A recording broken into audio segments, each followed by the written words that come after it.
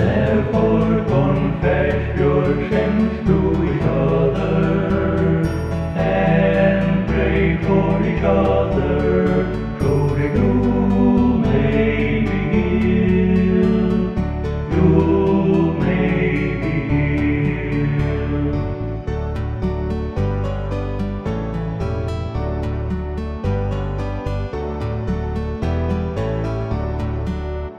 Therefore confess your sins to each other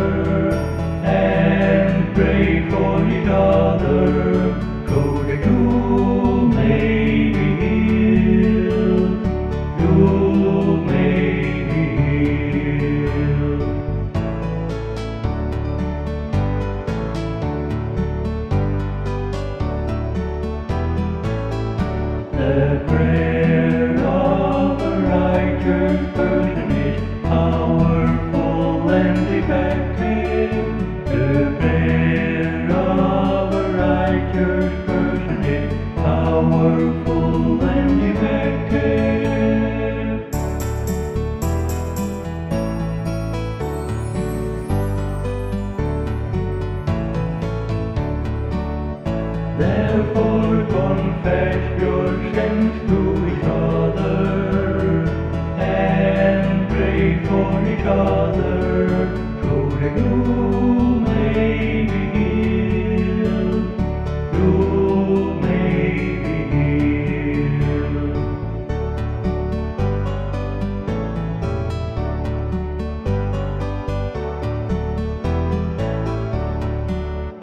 Therefore confess your sins to each other and pray for each other. So that you